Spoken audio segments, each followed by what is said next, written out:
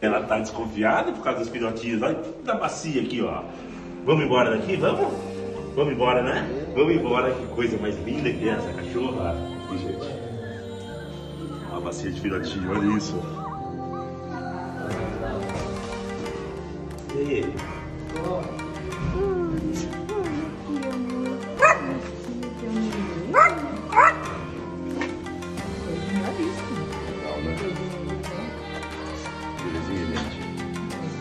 Vamos retirar todos, né, Mari?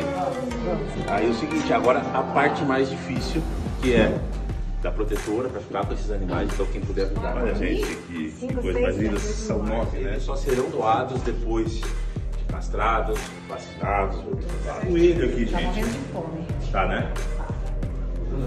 Então a gente vai levar os nove filhotes, a mãezinha, os outros dois cachorros e o coelhinho, né?